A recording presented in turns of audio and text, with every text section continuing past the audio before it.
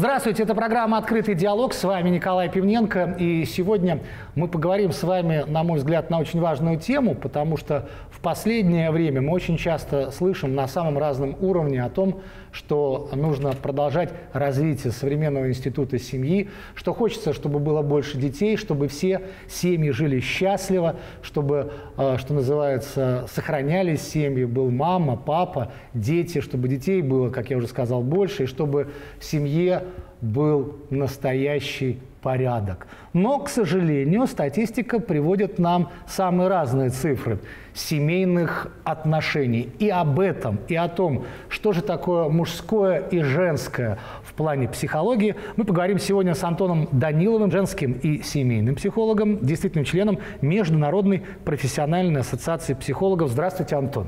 Николай, здравствуйте.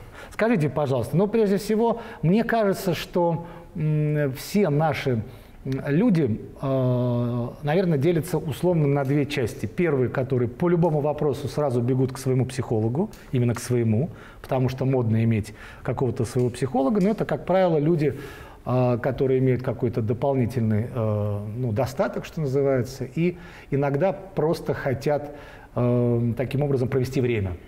И есть другой огромный, скажем так, пласт людей, которые действительно нуждаются – а, в том, чтобы кто-то им что-то посоветовал, что-то предложил, начиная от, от обычного врача-терапевта, да, и э, завершая врачом-психологом, который может как-то помочь решить те или иные проблемы. Но люди не идут, боятся, потому что обращение к психологу – это как бы заведомо себе ты говоришь «я не совсем нормален».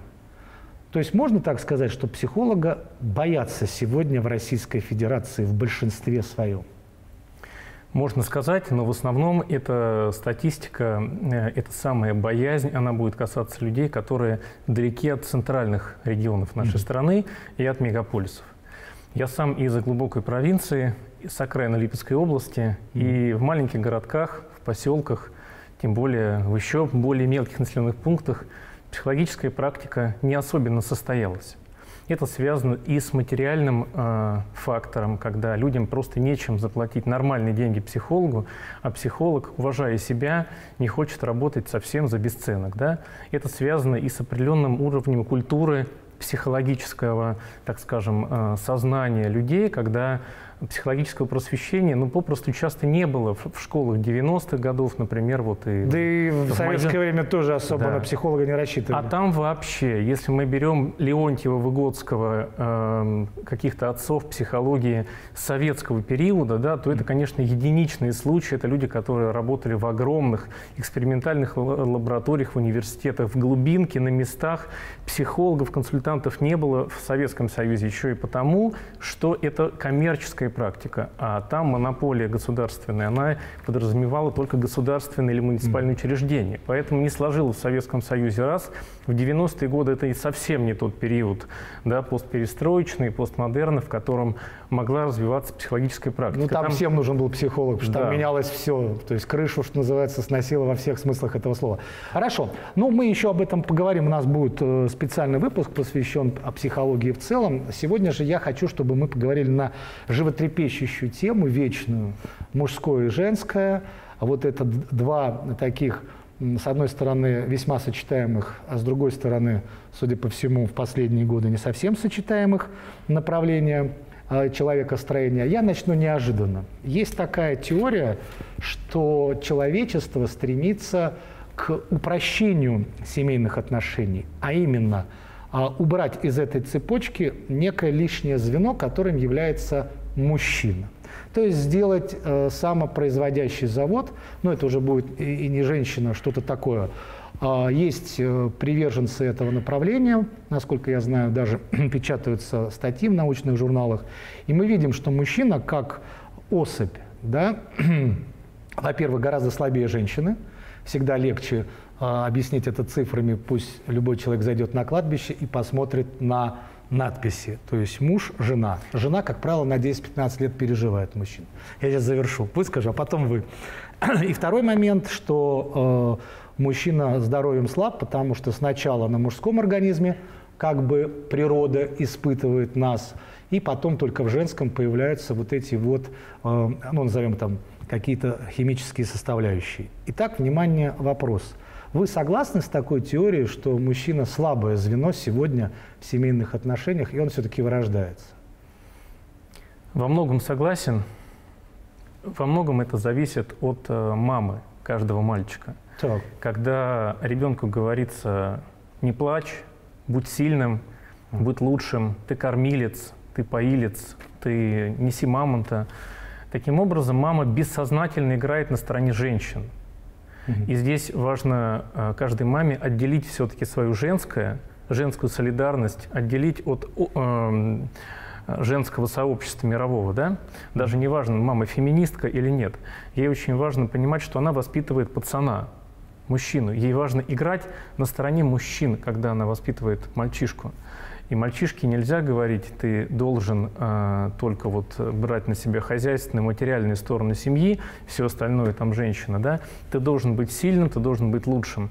Нельзя, потому что это сценарий, в который мальчик вводится с молодых ногтей когда за ребенка пишется, невольно или невольно, тот или иной сценарий. И этот сценарий заключается в том, что мужчина должен быть сильным, должен не проявлять эмоции, скопить их в своем сердце, умереть от инфаркта, потому что он не должен был почему-то плакать, проявить эмоции. Быть тогда, чувствительным. Да, да, тогда, когда женщина могла порыдать и поплакать, и посмеяться, а мужчина должен был в себе все это скопить, рано умереть, износиться в профессии. И отсюда эта фраза, да. ну будьте мужчиной, наконец, да? Да, будьте да, будь мужчиной, да. То есть ты не, ты не имеешь права быть собой, ты должен соответствовать какой-то социальной роли, социальному статусу, стереотипу определенному. Но ты живешь не своей жизнью. И как только мужчина хочет вырваться из этой череды, где-то, например, ну, изменить свой профессиональный статус, да, где-то даже в семье что-то поменять, mm-hmm. у него в голове начинают звучать родительские предписания, те самые указания. Ты же мужчина, что ты жалуешься,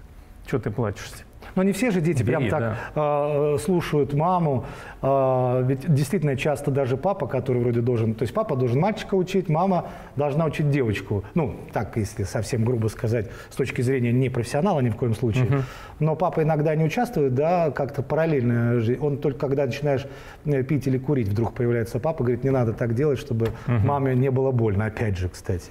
А мама действительно э, учит, как, э, как ей кажется, да, навязывать свой сценарий. Но ребенок-то может его не принимать, может быть, отсюда возникают проблемы у подростков, что они не слушают или, или наоборот делают так, как они хотят. Правильно? В подростковом возрасте начинается период антисценария часто в таких семьях, где давление было слишком большим. Угу.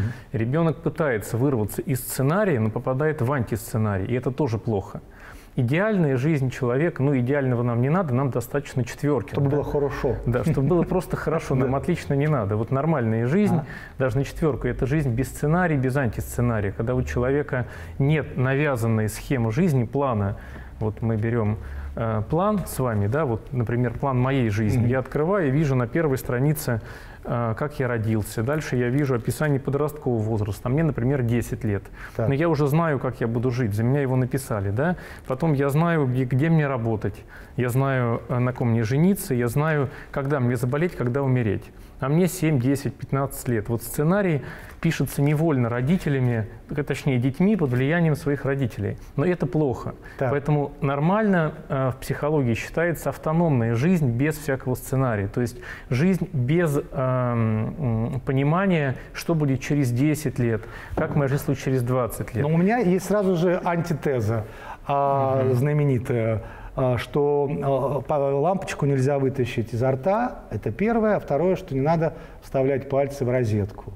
Угу. И каждый, ну, не знаю, там по счету, ну, скажем так, каждый третий ребенок обязательно это попробует. Хотя ему говорят, этого не делать. То есть как бы э, антитеза в том заключается, что если ребенок не подготовлен, это тоже вроде бы как опасно. Кто-то же должен его как-то направлять. То есть Конечно. нельзя совсем автономным быть. Правильно я понимаю? Конечно.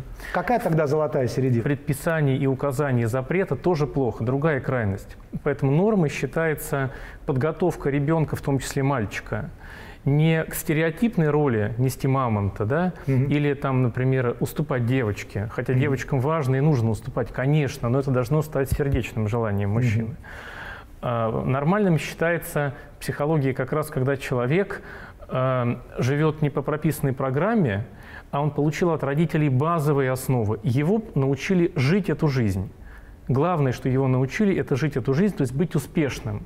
А он, как научили? Он успешен. Не просто вот запретами Конечно. или обязанностями, что у нас же есть права и обязанности. Конечно. А, наверное, пользуясь какими-то литературой, не знаю, кино, какими-то личными воспоминаниями. То есть Конечно. все равно давление оказывается, но в более мягкой, как бы незаметной для подростка форме. Правильно я понимаю? Больше забота и передача опыта. Я бы не назвал это давлением. Mm. То есть родители передают успешный опыт своим примером. Для этого они сами должны быть успешны, безусловно.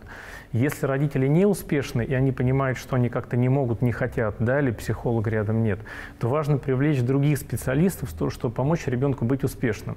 И вот он успешен, и он эту успешность реализует на свое усмотрение.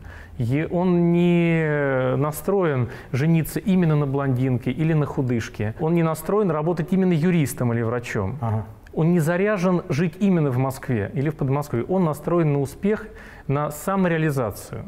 Даже счастье – это сиюминутное состояние, здесь не первостепенное, мы о нем в э, контексте разговора о семье поговорим. Счастье – это не самое главное, что есть на Земле, да, хотя тоже хочется. Вот это хорошая концовка да, для нашей да. э, первой части программы, что счастье, оказывается, это не, не самое главное. Конечно. Наверное, глав... вернее, не главнее, как правильно сказать, точнее, что дорога должна быть к счастью. То есть сам путь к нему, наверное, должен быть более приятным, чем часто бывает. Об этом мы еще поговорим во второй части, а именно о том, что же такое мужское и женское. Ведь мы начали с детей, это, наверное, правильно, потому что очень часто э, детские проблемы вдруг обнажают вообще проблемы семейные, что все начиналось еще в тот самый момент, когда кто-то сказал «выходи за меня», и кто-то согласился. Сейчас мы делаем небольшую паузу, а потом вернемся в студию.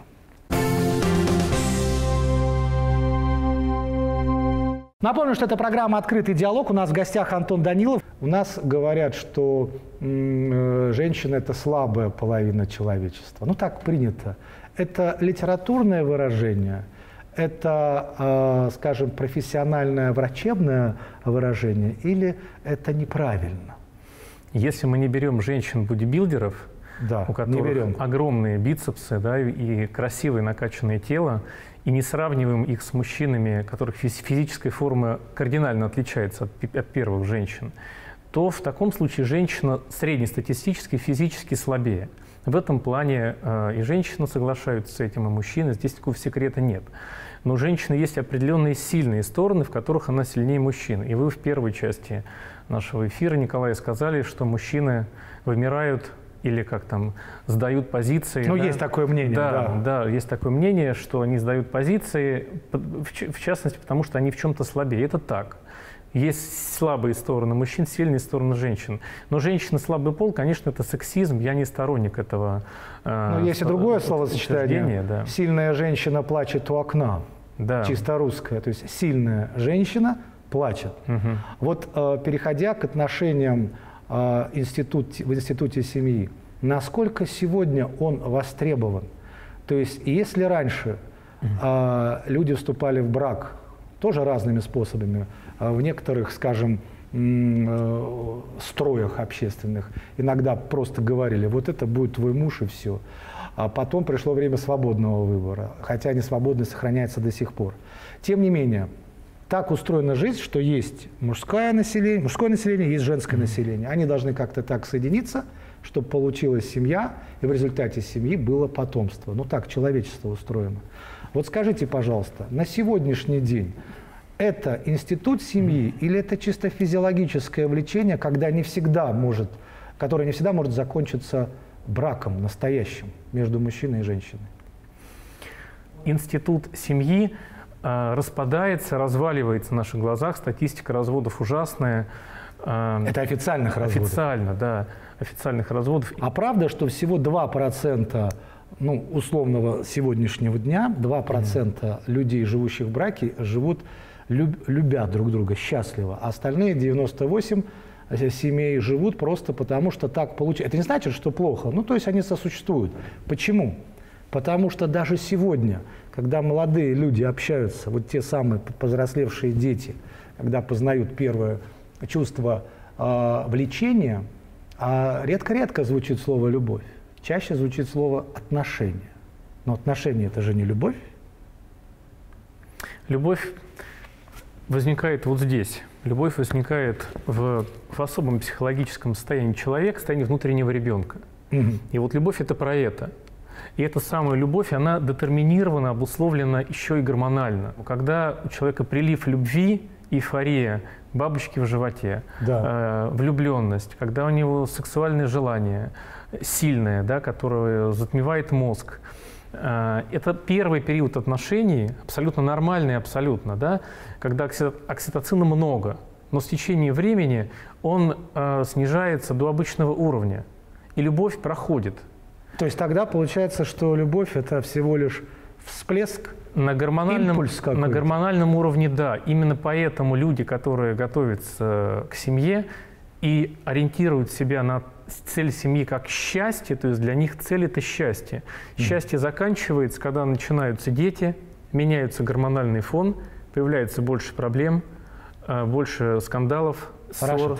Тогда возникает очень да. вопрос у меня, как у человека холостого, и который приверженец того, что а все-таки, если жить вместе, то надо по любви, хотя слово редкое, на мой взгляд, сейчас. Вопрос. Угу. Правильно я понимаю, что тогда институт семьи – это некий а, ну, вымысел? Потому что, смотрите, сейчас издалека начну. А, человек покупая, раньше покупали автомобиль, говорили, через 5 лет надо менять, теперь через 3 года уже надо менять, потому что он быстро разваливается. Самый любимый, самый хороший. Это я так на бытовом уровне. Вспомните период, когда в советское время автомобиль покупался навсегда, холодильник покупался навсегда, квартира обязательно навсегда. То есть ничего не может измениться. Представить себе, что ты можешь один холодильник выбросить, а другой купить, это нереально. И сейчас, если мы переносим эти, это на отношения между мужчиной и женщиной, получается, что всплеск, физиологическое влечение, вот этот вот всплеск любви, химическая формула, которых, по-моему, уже выведено 160, которые все называются формула любви, но ни одна из них не действует, э, ну, как бы не доказано, по крайней мере. И получается, что все это может закончиться у кого-то через год, у кого-то через три, через пять. И что потом 40 лет вот с этой женщиной, которая тебе уже совсем никак не нравится, жить в этом счастье? Совершенно верно. С одной стороны, есть гормональная сторона любви, и без нее никуда, да, и она подогревает отношения в первые месяцы, в первые годы э, брака или союза людей. Но брак основан не только на этом, не должен быть основан только на любви, вот на этом ощущении. А на чем да? же еще? Э, в семейной жизни всегда три основные составляющие. Интимность, то есть душевная сторона брака, общение, понимание, коммуникативность, mm-hmm. да, вот это вот, общие интересы и потребности, что немаловажно, сексуальность и ответственность. И когда заканчивается, изменяется гормональный фон, когда появляется больше проблем, рождается первый, второй ребенок, остается все остальное, кроме гормонального бума. Остается ответственность, осмысленность, общие интересы. То есть уважение. односпальная кровать да. превращается в две одноместные кровати, правильно? Не обязательно, но в браке людей должны удерживать другие факторы кроме вот этого вот ну, хорошо. первоначального... Самый да, простой подъема. удерживающий фактор, и очень часто мы слышим люди где угодно, uh-huh. да, в кино, в литературе и просто в документальных проектах говорят, мы живем с мужем ради ребенка. Мы друг друга, ну, они не говорят, что не любим, но мы как бы понимаем, да, внутренне, что они терпят друг друга, вот играют в эту игру отношений uh-huh. э, только ради ребенка. Ребенок это все видит, и тут уже зависит от него, он тоже личность. Почему-то взрослые забывают, что ребенок такой же человек. Конечно. И непонятно, как он это воспримет. Может быть, лучше было разойтись, ребенок бы это понял бы лучше, да, и э, он видит, что не, ну, нет в семье какого-то э, порядка. Вот как тут? Разве можно жить ради кого-то, нарушая свою жизнь и придумывая эту историю для своего ребенка? Вот как раз проблема в том, что человек видит один аспект ребенка, да, я живу ради ребенка, это уже некоторые убеждения. Надо не говорить, просто перестать себе говорить, что я живу ради кого-то, чего-то. Надо стараться жить разнообразно. Это первый момент. Поэтому в этой связи хочу сказать, что целью семьи является не любовь и не счастье. Целью семьи должны являться развитие и рост. И если люди не растут, Плюс к этому они создавали семью, настраиваясь на достижение цели счастья. А счастье – это состояние, это эмоция, это вот э, одна из эмоций, это проходит, это не постоянное состояние. Да? Настраиваться нужно на позиции внутреннего взрослого, он вот здесь. И это как раз позиция роста и развития. Хорошо, ну тогда очень простой пример. А, если прошло, там три года, угу. сделали ребенка, все, прошло все, признаемся ребенку честно – мы твои родители, но мы вот решили разойтись, потому что нам уже неинтересно. И тебе будет с нами неинтересно, потому что мы будем играть в эту игру. Насколько человек, вот вы говорите, что угу. можно, вы говорите, что Закончил. проходит чувство, так. то есть можно разойтись спокойно, мирно, ребенку объяснить и найти, э, вспыхнуло другое чувство, сделать следующую семью, там немножко пожить, там ребенка сделать, потом следующую семью. Очень удобно получается, сохраняться чувство, все красиво. А, чтобы вот эти 30 лет последующей жизни не жить ради непонятно чего. Если человеку, его жене и ребенку в купе это выгодно, то они могут так сделать. Главное, чтобы всем членам семьи это было хорошо, и это было на руку. К вам приходят люди. Приходят для того, чтобы вы решили вопрос либо сохранить семью, либо развестись. Что вы им предлагаете? Я предлагаю уйти от схемы либо-либо. То есть не мыслить черно-бело. Не ставить задачу не сохранить, не э, развестись. Не мыслить черно-бело. Есть другие цвета, красный, зеленый, желтый. То есть вы пытаетесь ставлю... объяснить им выгоду, если вы видите, что семью можно сохранить? Я подставлю задачу помочь им разобраться, зачем они создавали семью, что их мотивировало на создание семьи тогда, что произошло сейчас – Э, что поставило под вопрос семейную жизнь. Мы разбираемся, это самое главное. Когда люди разобрались, у них нет черно-белых тонов, есть серые, еще там красные какие-то да, цвета Хорошо. семейной и жизни. последний вопрос, касающийся мужского и женского, угу. будем завершать. Э, в революционные времена, помните, ну по-разному это у нас сейчас все представлено, конечно, есть архивные документы, все это можно посмотреть, возможно, вы это видели. Был такое, было такое направление, что все люди все мужчины и женщины, они должны друг другу помогать, и, в общем-то, институт семьи – это что-то буржуазное, вот, что каждая э, хорошая революционерка и революционер, они должны как-то вот э, свои чувства сразу же приступать к ним, а каждый ребенок – это ребенок революции, мы найдем, что с ним делать. Кстати, это потом в каком-то, каким-то образом еще в нацистской Германии пытались провернуть. У меня вопрос, может быть, даже очень страшный, исходя из той статистики, которая существует. Не кажется ли вам, что институт семьи устарел, и что норма – это одно, я имею в виду законодательная норма, не только в Российской Федерации везде, а люди живут уже какой-то совершенно другой странной жизнью? Зачастую, да. Люди хотят свободы, и с браком связана огромная негативная статистика, много разных предрассудков, много негативных примеров и в жизни наших родителей, старшего поколения, да, в целом. Поэтому люди хотят уйти от негативного сценария, попробовать жить по-другому.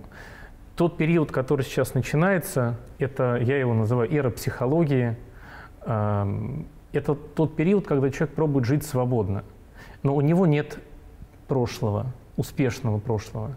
Советский Союз во многом дает нам не приглядную картину жизни, да, хотя очень много светлых и сильных сторон было в советском государстве, безусловно. В Но России... появится что-то новое, кроме института семьи? Он не устарел? Не сможем ли мы жить отдельно мужчины, условно говоря, отдельно женщины, которые на время, на три года заключают контракт, создают трехлетнюю семью, или я не знаю, как это будет называться, появляются здоровые дети, и потом ребенок принимает решение, с кем остаться. Ну, то есть все, все свободны. Это, смотрите, и феминисты, и мужской вопрос. И вопрос, кстати, да. на секундочку, нетрадиционных отношений. Вы же посмотрите, что в Европе уже фестивали, э, кинофестивали собираются э, как-то обезличить, скажем так, или обесполить. Вот самое последнее – институт сохранится в, в этом виде, в котором он есть сегодня, или нам надо к чему-то новому готовиться? Я думаю, сто процентов сохранится, потому что это выгодно женщинам. А на мировой психологической арене сегодня правит бал именно наши уважаемые, в том числе дорогие российские женщины. Женщины не позволят а, мужчине уйти от ответственности, а семья, в том числе и брак с печатью в паспорте, это ответственность. Поэтому я думаю, что женщина mm-hmm. этого не допустит. Понятно. Вот так мы завершаем интересно нашу программу. Прям как 8 марта. Антон Данилов, психолог по отношениям, а, женский и семейный, и действительно член Международной профессиональной ассоциации психологов. С вами был Николай Пивненко. Задумайтесь над тем, что мы сегодня говорили. Счастливо.